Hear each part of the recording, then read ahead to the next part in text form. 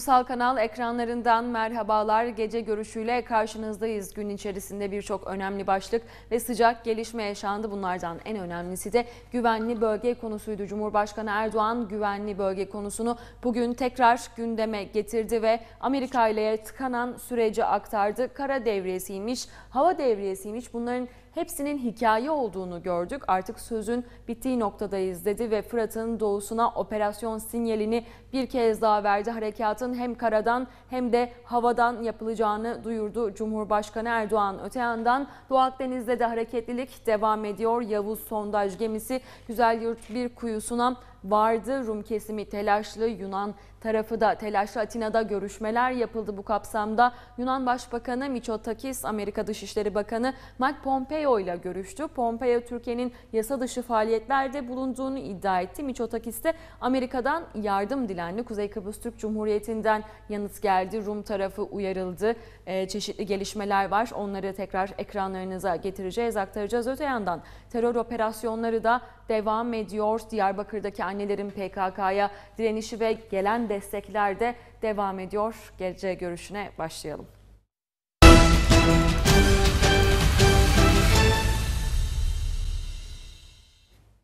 Günün en sıcak ve önemli gelişmesi olan güvenli bölgeyle başlayacağız. Amerika'nın oyalama taktiği güvenli bölge çalışmalarında süreci tıkadı artık söz bitti. Cumhurbaşkanı Erdoğan böyle seslendi Washington'a. Fırat'ın doğusuyla ilgili ikazların yapıldığını hatırlatan Erdoğan operasyonun sinyalini verdi. Cumhurbaşkanı hem karadan hem havadan bu harekatı yürüteceğiz dedi. AK Parti'nin Kızılcıhamam kampında konuşan Erdoğan'ın gündeminde yargı reformu ve Cumhurbaşkanlığı sistemi de vardı. Artık söz bitti. Barış pınarlarının önünü açma vakti geldi. Cumhurbaşkanı işte böyle verdi mesajı. Türkiye, Fırat'ın doğusuna operasyon için hazır. Artık söz bitti. Bu harekatı yürüteceğiz. Yapılan devriyeler, yüz yüze ve telefonda görüşmeler hiçbir ifade etmedi. Her türlü ikazı yaptık. Sabırla davrandık. Kara devriyesiymiş, hava devriyesiymiş. Hikaye olduğunu görüyoruz. Türkiye ve Amerika'nın güvenli bölge çalışmalarında şu ana kadar terör örgütü PKK-PYD Fırat'ın doğusundan çıkartılmadı. PKK, YPG'yi terör örgütü olarak tanıyor musunuz? Bunu açıklayın. Washington'ın oyalama taktiği karşısında güvenli bölge planı tıkandı. Ülkemizi terör örgütünden uzak tutmak için sürekli yüzümüze gülen, sürekli diplomatik söz oyunlarıyla kendilerince oyalayanlara diyoruz ki artık söz bitti. Cumhurbaşkanı Recep Tayyip Erdoğan, Suriye'nin kuzeyi Fırat'ın doğusu için planlar hazır vurgusunu yineledi. Konuşmasında harekatı yürüteceğiz, belki bugün, belki yarın ifadelerini kullandı. Harekat planlarımızı tamamladık. Gereken talimatları verdik. Barış pınarlarının önünü açma vakti belki bugün, belki yarın denebilecek kadar yakındır.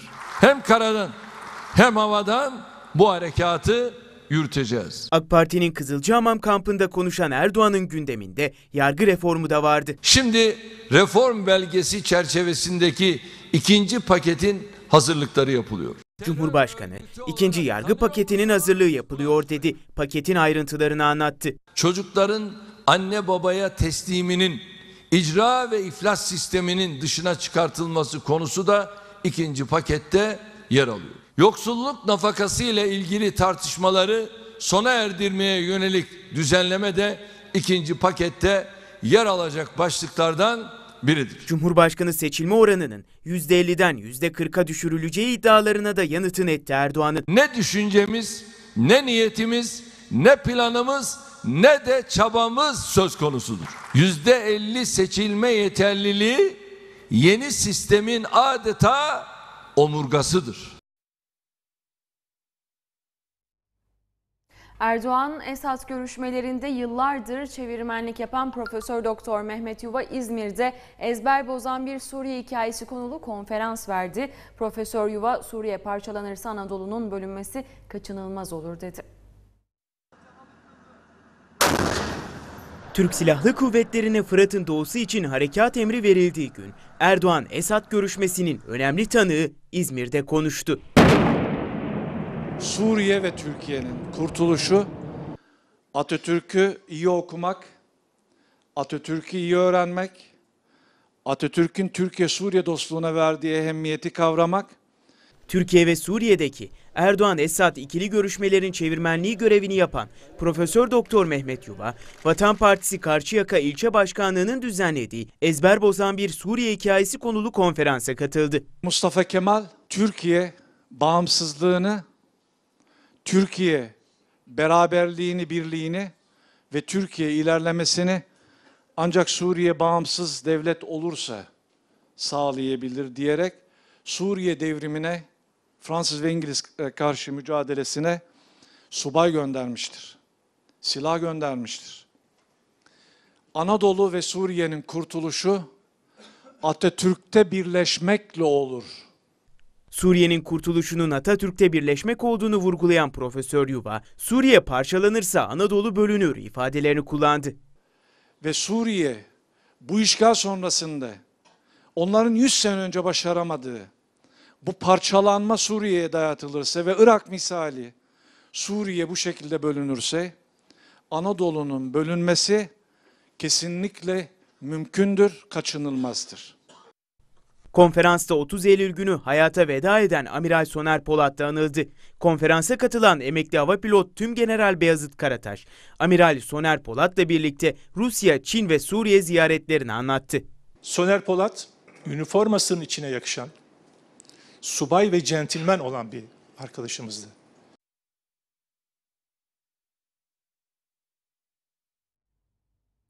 Doğu Akdeniz'e dönelim. Yavuz sondaj gemisi Güzel Yurt 1 kuyusuna ulaştı. Türk kıta sahanlığındaki bölgede sondaj 7 Ekim'de başlayacak. Atina'da Yunan Başbakanı ile görüşen Amerikan Dışişleri Bakanı Mike Pompeo, Türkiye'nin faaliyetlerinin yasa dışı olduğunu iddia etti. Öte yandan Kuzey Kıbrıs Türk Cumhuriyeti Ekonomi ve Enerji Bakanı Hasan Taçoy, Rumlara küçük bir hatırlatmada bulundu. Taçoy, Yavuz'un mürettebatı için tutuklama emri çıkaran Rum kesimine Yavuz'u Türk donanmasının koruduğunu hatırlattı.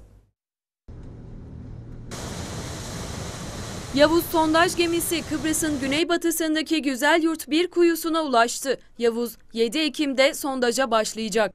Güzel Yurt 1 kuyusu Türkiye'nin kıta sahanlığı içinde yer alıyor. Bu bölge Rumların sözde 7. parseliyle kesişiyor. Bu sebeple Rum tarafı Yavuz'un bölgeye gelmesine tepki göstermişti. Amerika Dışişleri Bakanı Mike Pompeo da Yavuz'un bölgeye gelmesi hakkında konuştu. Mike Pompeo, Yunanistan Başbakanı Mitsotakis'le bir araya geldi. Pompeo, Türkiye'nin faaliyetlerinin yasa dışı olduğunu iddia etti. Doğu Akdeniz'deki Türk faaliyetlerinin kabul edilemez olduğunu söyledi. Yunan Başbakan Mitsotakis de Türkiye'nin kıta sahanlığı olan bölgeyi Rumların 7. parseli olarak ifade etti.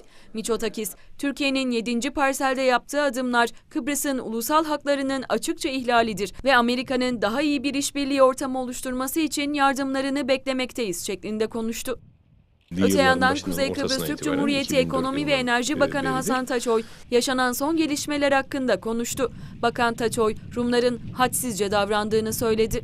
Güzelyurt bir e, deneme alanı dediğimiz kuyuya e, Yavuz'un e, hareketini gerçekleştirmesiyle o bölgede yine e, Güney Kıbrıs Rum Yönetimi ENI ve Total'e iki tane ayrı şirkete e, ihale yöntemiyle bu e, bu 7. parsel içerisinde araştırma yapma e, hakkını da vermiştir. Şimdi burada çatışan sular var mıdır? Çatışan sular varsa bile burada Türk hakkının da olduğunu ve Türk hakkını bu mavi vatanın içerisinde hiç kimseye yer olamayacağını Türk halkı buna sahip çıkabileceğini her yerde söylemiştir. Rumlar hadlerini aşmışlardır. Hadlerini aşan bir durumdadırlar ve hadlerini aşarak hala daha bizim önerilerimize e, sıcak bakmaktadırlar. Akşam yine bir krizle cevap verdiler ve dediler ki e, Yavuz gemisinin hem gemiyi hem de mürettebatını tutuklarız. Ama unutmasınlar ki Yavuz gemisi Türk donanmasıyla korunmaktadır. Kuzey Kıbrıs Türk Cumhuriyeti Ekonomi ve Enerji Bakanı Hasan Taçoy bu süreç içerisinde tek güvendikleri yerin adanın garantörlerinden Türkiye olduğunu dile getirdi. Türkiye ile birlikte hareket etmek bizim en büyük hedef ve gayemizdir dedi. Bu arada Çin'in Sincan Uygur Özerk Bölgesi'nde büyük bir doğalgaz rezervi bulundu. PetroChina şirketi doğalgaz üretimine gelecek ay başlayacaklarını duyurdu. Çin'in Sincan Uygur Özerk bölgesinde 115 milyar metreküplük doğal gaz rezervi keşfedildi. Çin'in ekonomik açıdan en hızlı büyüyen bölgesi olan Sincan'da doğal gaz üretimine gelecek ay başlanması planlanıyor. Çin'in PetroChina şirketi tarafından yapılan açıklamada rezervin tarım havzasındaki arama çalışmalarında bulunduğu belirtildi. Gaz keşif alanında yapılan kuyu testlerinin başarılı olduğu ifade edilen açıklamada şirketin doğal gaz üretimine gelecek ay başlamayı planladığı söylendi. Sincan Uygur Özerk Bölgesi doğalgazın yanı sıra altın, platin, gümüş, uranyum ve kömür başta olmak üzere çok sayıda yeraltı kaynağına sahip bulunuyor. Dış gündemle devam edelim. Irak'ta hükümet karşıtı gösterilerde ölenlerin sayısı 100'e yükseldi. Yaralı sayısının 2000'e yükseldiği belirtiliyor. Kötü yönetim ve işsizlik karşıtı gösteriler Bağdat başta olmak üzere Irak şehirlerine yayılıyor. Göstericiler Başbakan Abdülmehdi'nin istifasını istiyor. Iraklı politikacılar ise erken seçim çağrısı yapıyor. Irak'ta 1 Ekim'de başlayan hükümet ve yolsuzluk karşıtı gösterilerde bilanço ağırlaşıyor. Gösterilerde ölenlerin sayısı bine yükseldi. Yaralı sayısının ise 2000'e yaklaştığı ifade ediliyor. Hayatını kaybedenler arasında güvenlik gücü mensuplarının da olduğu belirtiliyor. Gösteriler başta Bağdat olmak üzere İran pek çok kentine yayılmış durumda. Gösterilere katılanların ise daha çok gençlerden oluştuğu dikkati çekiyor. Özellikle gençlerin yer aldığı gösterilerde Iraklılar hükümetin kötü yönetimini, işsizlik, yoksulluk ve barınma sorunu gibi sorunları dile getiriyor. Protesto edilen tüm olumsuzlukların altında ise Amerika'nın Irak'ı işgali yatıyor. Ülke 16 yıldır toparlanmaya çalışsa da Iraklıların hayatı bir türlü normale dönemiyor. Bölge kaynakları devlet memurları ve onların çevresindeki küçük bir azınlık dışında bütün ülkede vatandaşların zor yaşam şartları altında ezildiğini bildiriyor. Protestolar yabancı ülkeler tarafından kendi menfaatleri doğrultusunda kullanılmaya çalışılsa da halkın dile getirdiği tepkiler gerçek. Uluslararası ilişkiler uzmanları ise Amerika ve İsrail'in haklı ekonomik gerekçelerle başlayan protestoları İran'ı baskı altına almak için provoke etmeye çalıştığını söylüyor. Yolsuzluk ve kötü yönetime karşı başlayan eylemler süresince protestocuların talebi de değişti. Protestocular artık Irak Başbakanı Adil Abdülmehdi'nin istifasını istiyor. Irak Başbakanı Abdülmehdi ise son olarak sokağa çıkma yasağının kaldırılması için talimat verdi. Ayrıca hükümet göstericilerin temsilcileriyle görüştü. Öte yandan Abdülmehdi, Şiilerin en büyük dini merci Ali Es-Sistani'nin taleplerini yerine getirmek için komisyon kurulacağını söyledi. Sistani, Cuma günkü mesajında göstericilerin taleplerini yerine getirmek için bağımsız kişilerden oluşan komisyon kurulmasını istediğini bildirmişti. Sadr Hareketi lideri Muktada Es-Sadr da ülkedeki gerginliği sona erdirmek için hükümetin istifa etmesi ve erken seçime gidilmesi çağrısında bulundu. Bir erken seçim çağrısı da eski Irak Başbakanı Haydar el-İbadi'den geldi. İbadi 2020'yi geçmeyecek şekilde ve ulusal görevleri yerine getirebilecek meşru anayasal bir hükümetin kurulmasını istedi. Irak Meclis Başkanı ise göstericilerin taleplerini desteklediklerini bildirdi. Birleşmiş Milletler Genel Sekreter Antonio Guterres, Irak'taki gelişmeleri yakından takip ettiğini belirtti. Gösterilerde çok sayıda kişinin hayatını kaybetmesinden derin üzüntü duyduğunu ifade etti. Türk Dışişleri Bakanlığı Irak hükümetine çağrı yaptı. Çağrıda Irak hükümetinin halkın beklentilerinin karşılanmasını teminen gereken adımları atacağına inanıyoruz denildi. Türkiye Barolar Birliği Başkanı Metin Feyzoğlu, Türkiye'nin yargı gündemine ilişkin ulusal kanala özel açıklamalar yaptı. Yargıdaki FETÖ tartışmalarına değinen Feyzoğlu, Adalet Bakanı bütün samimiyetiyle mücadelenin içerisinde dedi. Af düzenlemesine yönelik çalışmalara katkı vermek istediklerini belirten Feyzoğlu, HSK'nın yapısına ilişkinde önemli uyarılar yaptı. Tabiri caizse asfalttan kazıma mücadelesinin içindeyiz. Türk yargısının FETÖ'yle mücadele ettiğini söyledi. Af düzenlemesi ve HSK'ya ilişkin önemli uyarılar yaptı. Ee, ileride ama çok e, uzak olmayan bir e, gelecekte biz HSK'yı da tartışmaya başlarız. Türkiye Barolar Birliği Başkanı Metin Feyzoğlu, Sinan Fıstıkoğlu'nun sunduğu hafta sonu programında ulusal kanala özel açıklamalar yaptı. İlk andan itibaren sadece Türkiye'yi düşünerek verdiğiniz destek için e, şahsınızda tüm e, ulusal kanal ailesine teşekkür ediyorum. Çok çok önemsiyorum. Türkiye'nin yargı gündemine ilişkin mesajlar verdi Feyzoğlu. Yargıda FETÖ'cü kadrolaşma iddiasına tepki veren Adalet Bakanı Abdülhamit Gül'ü destekledi. Türkiye Barolar Birliği'nin de mücadelesini anlattı. Adalet Bakanı bütün samimiyetiyle, bütün gücüyle şu anda yargıyı FETÖ'den e, tamamen temizleme, Türkiye'den FETÖ'yü e, tamamen gönderme ve temizleme mücadelesinin içindedir. Biz de bütün gücümüzle FETÖ'yü Türkiye'den ilelebet gönderme, e, tabiri caizse asfalttan kazıma mücadelesinin içindeyiz. Yargı reformu çalışmalarını destekleyen Feyzoğlu, ikinci yargı paketiyle gelmesi beklenen infaz düzenlemesine de değindi. Katkı sunabileceklerini söyledi. Toplumda beklenti oluştu. O zaman bunun oturulup toplumsal düzene zarar vermeyecek şekilde cezaların caydırıcılığını ve dolayısıyla kamu düzenini ihlal etmeyecek şekilde planlanması lazım. Ee, ilk paket çıktıktan sonra e, Adalet Bakanlığımız e, zaten Türkiye Barolar Birliği'ni yine davet edecektir. E, bu konuda da somut çalışma yapalım diyecektir.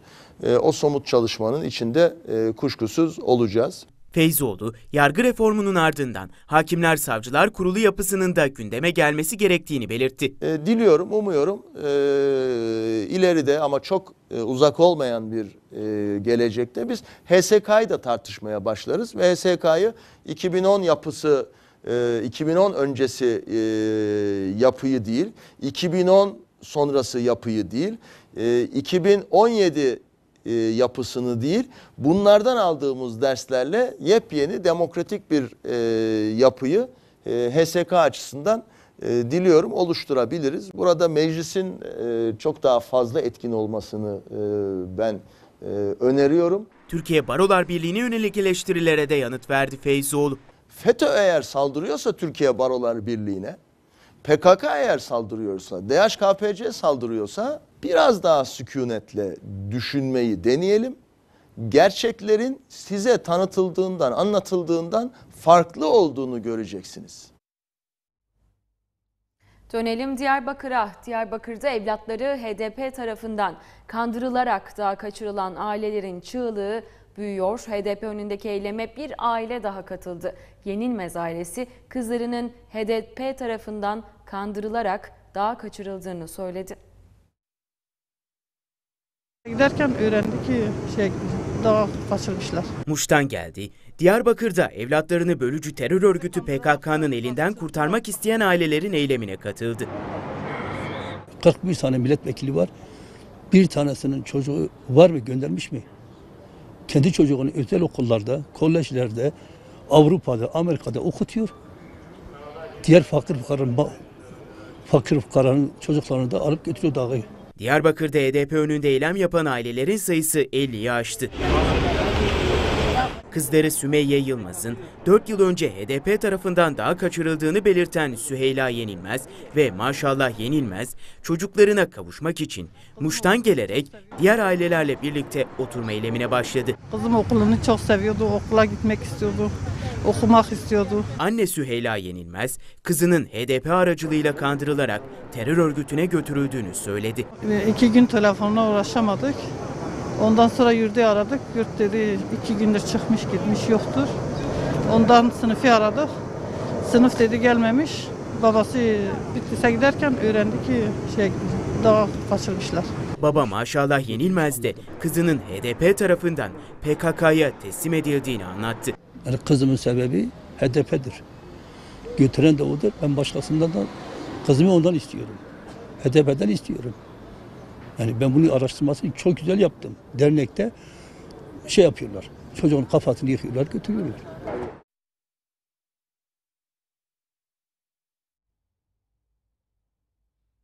Tabii annelere destek de devam ediyor. Evladını PKK'nın elinden kurtarmak için HDP Diyarbakır İl Binası önünde eylem yapan annelere üniversite topluluklarından destek geldi. Özellikle gençlerin çok büyük bir desteği var.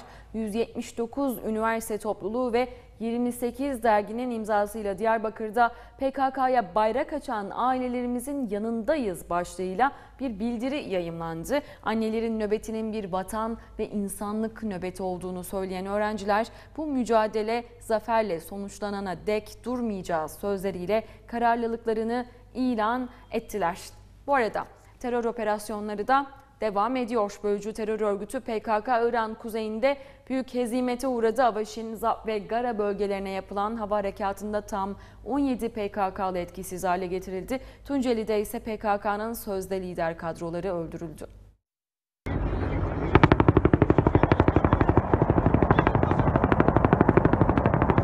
Irak'ın kuzeyinde devam eden operasyonlarla ilgili Milli Savunma Bakanlığı açıklama yaptı. Ateş! P-16'lar PKK hedeflerini yok etmek için havalandı. Avaşin, Zap ve Gara bölgelerine hava harekatı düzenlendi. Operasyonda 17 PKK'lı öldürüldü. Son bir haftada etkisiz hale getirilen terörist sayısı toplam 51 oldu. Yurt içindeki operasyonlarda aralıksız sürüyor. Tunceli Pülümür kırsalına jandarma ve MİT ortaklığıyla operasyon yapıldı. İki terörist sihalarla etkisiz hale getirildi. İki teröristten birinin kırmızı listede aranan Ayten Ene ile gri listede aranan Mehdi Kaplan olduğu tespit edildi. Terörist Ene 4 milyon lira ödülle, Kaplansa 300 bin lira ödülle aranıyordu. Kırmızı listedeki PKK'lının sözde Erzurum Eyalet Komutanı ve HPG'nin sözde askeri konsey üyesiydi. Diyarbakır'da ise saldırı hazırlığındaki PKK'lılar son anda yakalandı. Bağlar ilçesi Kaynartepe mahallesinde bulunan metruk bir binada eylem hazırlığında olan teröristlerin bilgisi alındı. Saldırı hazırlığındaki iki PKK'lı patlayıcılarıyla birlikte yakayı ele verdi. Peş peşe yapılan uyarılar sonrası Marmara bölgesi yağışa teslim oldu. İstanbul'da kuvvetli sağanak ve fırtına nedeniyle tam 18 evin çatısı uçtu. 32 ağaç devrildi ve 28 evi de su bastı. İstanbul'da kuvvetli fırtına ve sağanak etkisini gösterdi. Vatandaşlar güne sisli havayla uyandı. Meteoroloji tarafından günlerdir yapılan uyarıların ardından Marmara bölgesi sağanak ve fırtınaya teslim oldu. Gece saatlerinde etkili olan fırtına İstanbul Maltepe Mesleki ve Teknik Anadolu Lisesi'nin çatısını yerinden söktü. Koparak savrulan çatı parçaları Küçük Yalı Caddesi'nde park halindeki bazı araçların üstüne düştü. Yağış ve fırtına ile ilgili İstanbul Büyükşehir Belediyesi'nden de açıklama geldi. Yetkililer 18 evin çatısının uçtuğunu, 32 ağacın devrildiğini ve 28 evi su bastığını duyurdu. Yağmurun devam edeceği, vatandaşların tedbirli olunması istendi. Sağnak, Çanakkale ve Kocaeli'de de etkili oldu. Fırtına nedeniyle deniz seferlerinde aksamalar meydana geldi. Gölcük ilçesinde fırtına bazı ağaçları devirdi. Bir iş yerinin çatısı hasar gördü. Muğla'da da benzer manzaralar vardı. Fethiye'de çok sayıda iş yeri ve evi su bastı. Yollar suyla doldu. Bazı araçlar trafikte aksamalara neden oldu. Yağış ve fırtına iki gün boyunca etkili olacak. Yarın da vatandaşlarımızı dikkatli olmaları konusunda uyaralım. Yüksek puanlı öğrencilerin öğrenim gördüğü MEB'in belirlediği proje okullarında eğitim birsen üyeleri çoğunlukta Kamusen Konfederasyonu'na bağlı Türkiye Eğitim Sen, sendikal dağılımdaki adaletsizliğin değişmesi için Milli Eğitim Bakanlığı'na bir talepte bulundu. Ayrıca proje okulları yönetmeliği yargıya da taşındı. Bu gidişat, bu uygulama anlaşılır değil. Türkiye Eğitim Sen araştırdığı proje okullarda en çok eğitim bir senli müdürlerin görev yaptığı ortaya çıktı. 2014'te yüksek puanlı okullar proje okul olarak belirlenmişti. Bu okullarda proje üretilmesi hedeflenmişti. 2014 yılında 155 okulla uygulamaya geçti. Proje okulunun amacı yurt içinde ve yurt dışında yerli, yabancı kurum ve kuruluşlarla işbirliği yapmak ve proje üretmek. Her ilde çok başarılı, çok e, iyi öğrenciler bu okullara gidiyordu. Türk Eğitim Sen bu okullardaki sendikal dağılımı Milli Eğitim Bakanlığı'ndan talep etti. Geri dönüş gelmeyince şubelerinden bilgi aldı. Dağılımda adaletsizlik olduğu tespit edildi. 299 proje okulundaki müdürlerin 774'ü malum senin üyesi. Yani eğitim bir senin üyesi. Kalan 125 kişi de işte sendikasız diğer sendikalara üye olan e, arkadaşlarımızın e, üye olduğu sendikalara ait. Müdür yardımcılığı görevinde de eğitim bir sene yöneticilerin sayısının fazla olması dikkat çekiyor. Müdür yardımcısı sayısı e, 1976 tane bize gelen bilgiler. Malum sen üyesi müdür yardımcısı sayısı 1561. Diğer sendikalar, sendikasızların sayısı 415. Proje okul sayısının fazla olduğu kentlerde İstanbul ve Ankara başı çekiyor. İstanbul'da 163 tane proje okulu var.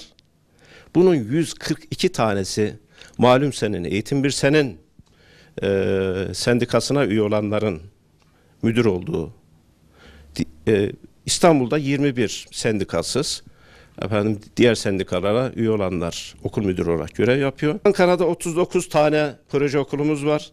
32 tanesi eğitim bir senin, Türk Eğitim Sen'e göre sayısı bine yaklaşan proje okullarındaki esas sorun liyakatsiz atamalar. Proje okulu olduktan sonra başarı seviyeleri düştü bu okulların. Öğretmen alımları, yönetici atamaları bir kritere bağlı kalmaksızın öğretmen atamaları yapıldı. Çalışanlar maalesef bu tabloyla ay- ayrıştırılıyor. Bu başarısızlığın esas sebebi liyakatsız, kariyersiz insanların iş başına gelmesinden kaynaklanıyor. Türk Eğitim Sen Genel Sekreteri Mustafa Akkaş konuyu yargıya taşıdıklarını belirtti, çözüm önerilerinde bulundu. Bu yapıyla, bu anlayışla proje üretemezsiniz. Proje okulları yeniden dizayn edilmesi lazım. Yönetmelikleri, atama biçimi yeniden gözden geçirilmesi lazım. Proje okulları yönetmeliğini Türkiye Eğitim Sen olarak da zaten yargıya taşıdık. Volkswagen'in 943.5 milyon lira sermayesi yaklaşık 10 bin kişiye sağlayacağı istihdam Manisa'da heyecana yol açtı. Ekonomist Şevket Apuan şirketin Türkiye'ye fabrika açacak olmasını değerlendirdi. Apuan Almanya'nın Avrasya'ya yönelişine dikkat çekti. Türkiye'nin sosyal, iktisadi durumu gelecek için bize güven veriyor demek. Bir canlılık yaratacaktır. Alman otomotiv devi Volkswagen 943 milyon lira sermayesiyle Türkiye'ye geliyor. Almanya ve Türkiye birbirleri için önemli ülkeler. Uzmanlara göre Almanya'nın Avrasya'ya yönelişi Volkswagen'in Türkiye tercihinde bir faktör olarak öne çıktı. Almanya da e, son yıllardaki tercihlerini göz önünde bulundurduğumuzda bir e, Amerika ile Atlantik sistemi ile arasında bir mesafe koyması ve Avrasya'ya yönelişi söz konusu. E, Bana kalırsa bunu da sağlamlaştıran bir e, adım oldu bu. Yan sanayisiyle birlikte yaklaşık 10 bin kişiye istihdam sağlayacağı ifade edilen fabrikanın 4 bin dönümlük bir alana kurulması öngörülüyor. İstihdam oluşturacaklar. İstihdam oluşturacak her türlü yatırıma ben olumlu bakıyorum. Gelsinler iş versinler. Bir yerde araba fabrikası varsa, bir üretim varsa yan sanayi de etkileyecek ister istemez. Bir fabrika deyince bunun alt kolları alta doğru yayılıyor. Öte yandan alınan bilgiye göre otomotiv devi fabrikada yılda 700 bin araç üretecek. Üretimin %20'si Türkiye pazarına sunulacak, %80'lik payı ise ihracata ayrılacak. Bizim için asıl olan kendi markamızı tabii ki ortaya koyabilmek ve kendi markamızı dünya ülkelerine ihraç edebilmek. Ekonomist Şevket Apuhan, otomotiv sektörü ve düşük kredili faiz kampanyasını değerlendirdi. Şu anda gerçekten de Türkiye'de faizlerin e, mümkün olduğunca minimum seviyede tutulması gerektiğini görüyoruz. Ben böyle düşünüyorum. Çünkü e, paraya ulaşım durdu. Piyasada para yok. E, para dönmüyor. İstanbul'da yaklaşık 1700 taksici turizm konusunda eğitim alıyor. Eğitimini tamamlayan sürücüler sonrasında bir sınava girecek. Sınavda başarılı olanlara turist dostu taksici logosu verilecek.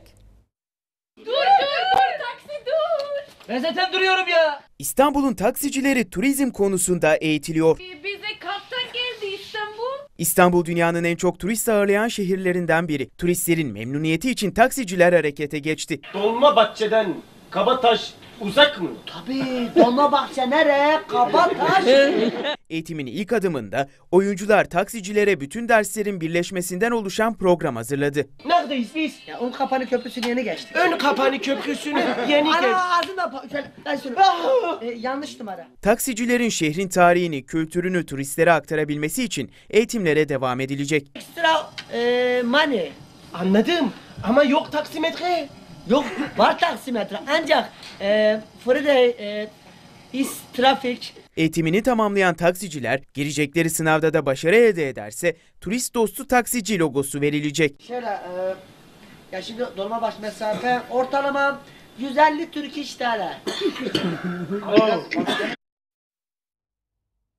İstanbul Aydarpaşa ve Sirkeci Garı ihalesinin sonucu ertelendi. İhalede İstanbul Büyükşehir Belediyesi şirketi ve Hazarfen Danışmanlık sona kaldı. Haydarpaşa ve Sirkeci Gar sahasındaki bazı alanları kiralamak üzere açılan ihale iki hafta sonra belli olacak. Ulaştırma ve Altyapı Bakanlığı tarafından açılan ihalede dört teklif sunuldu. İhalede İstanbul Büyükşehir Belediyesi şirketlerinden oluşan konsorsiyum ve Okçular Vakfı'nın eski genel müdürü Hüseyin Avni Önder'in sahibi olduğu Hezarfen Danışmanlık sona kaldı. Tahmini bedelin 30 bin lira olarak belirlendiği ihalede Hezarfen Danışmanlık aylık 300 bin lira, İBB şirketlerinden oluşan konsorsiyum aylık 100 bin lira teklif sundu. İhalede 15 gün içinde taraflar pazarlığa çağrılacak. İstanbul Büyükşehir Belediye Başkanı Ekrem İmamoğlu ihale ile ilgili konuştu. Garların bedeli ne olursa olsun İstanbul halkının olacak diyen İmamoğlu, Haydarpaşa'yı kar amaçlı değil, kültürel etkinliklerin yapıldığı, kullanmak istediklerini söyledi. Herkesin de bu hassasiyetle davranmasını beklerdim ama olmadı. Şanlıurfa'da doğal güzelliğiyle dikkat çeken Takoran Vadisi görenleri hayran bırakıyor. Yaklaşık 20 kilometrelik vadi kaya mezarları ve kanyonlarıyla ziyaretçileri kendine çekiyor. Burası Şanlıurfa'nın Siverek ilçesindeki Takoran Vadisi. Bölge halkının saklı cennet olarak tanımladığı vadi, eşsiz güzelliğiyle ziyaretçilerini derinden etkiliyor. Kano yarışları yapılıyor burada. Olta balıkçılığı yapılıyor burada. Siverek Belediye Başkan Yardımcısı Cumali Karavar, vadiye Türkiye'nin her kentinden ziyaretçi geldiğini söyledi. Takoran bölgesinin Siverek'teki Fırat'ın kıyısına olan kısmının dünyada eşi benzerinin olmadığını ifade ettiler. Çok mutlu oldular. Bizi mutlu ettiler dolayısıyla. Yaklaşık 20 kilometre uzunluğundaki vadi kaya mezarlarının yanı sıra kanyonlarıyla da dikkat çekiyor. Güneydoğu'ya ilk defa geldim. Gerçekten hayran kaldım doğasıyla, insanın sıcaklığıyla. Hele ki şu anda bulunduğumuz kanyon süper. Görmenizi istiyorum. Takoran Vadisi Atatürk Barajı'nın yapımıyla su seviyesinin yükselmesinin ardından oluştu. Vadi bakir doğasıyla görenleri kendine hayran bırakıyor.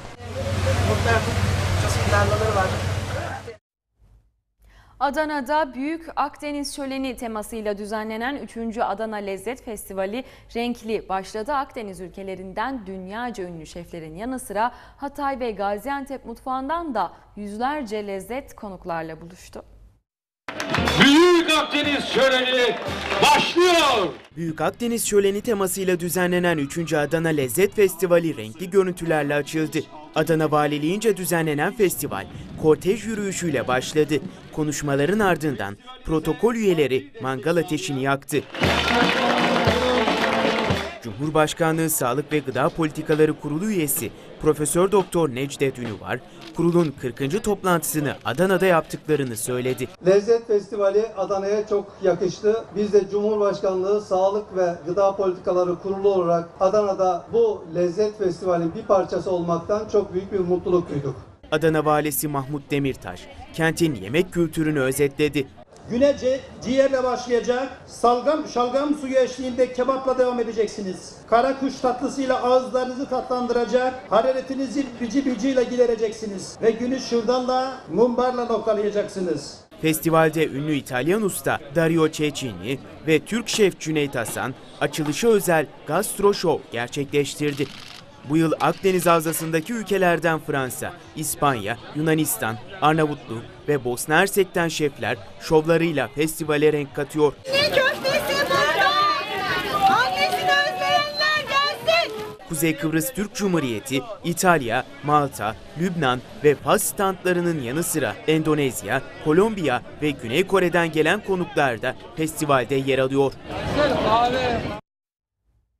Muğla'da bu yıl üçüncüsü düzenlenen Bodrum bisiklet turuna yurdun dört bir yanından 180 bisikletli katıldı. Bisiklet tutkunları doğal güzellikler arasında pedal, pedal çevirdi. Muğla'nın Bodrum ilçesinde düzenlenen bisiklet turunda 180 bisikletli doğal güzellikleri görme imkanı buldu. Kumbahçe mahallesinden başlayan bisiklet turunda katılımcılar ilçe merkezinden geçti. Bodrum Bisiklet Kulübü Başkanı Emrem Yılmaz, üçüncüsünü düzenledikleri etkinliğe katılımın bu yılda yoğun olduğunu söyledi. Türkiye'nin her yerinden bisikletçi arkadaşlarımız geliyor ve hep beraber pedal çeviriyoruz. Bu e, festivali yapmamın amacı da Bodrum'a bu e, ölü sezonda bir şekilde katkıda bulunmak. Yılmaz, yurdun dört bir yanından gelen bisikletlilerle bir aile gibi olduklarını belirtti. Bugün 52 kilometre yapıyoruz. Bir gün tekne turumuz, diğer iki gü- günde bisiklet e, turumuz var. Genelde e, gerçekten bir aile gibiyiz bisiklet sevenlerle birlikte. Çok güzel şeyler yaşıyoruz. E, beraber birbirimize yardım ediyoruz. Çok güzel şeyler gerçekten. Bodrum'un tarihi ve doğal güzelliklerini pedal çevirerek görme şansı yakalayan bisiklet tutkunları oldukça keyifliydi. 52 kilometrelik parkurda Kızılağaç, Yalı ve Etrim mahallelerindeki ormanlık alan ve zeytin ağaçları bulunuyor.